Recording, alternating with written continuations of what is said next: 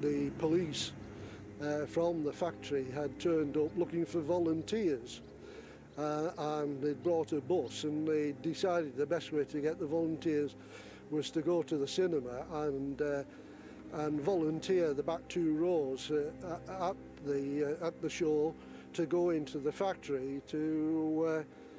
uh, as it turned out to help push the fuel rods out of the out of the reactor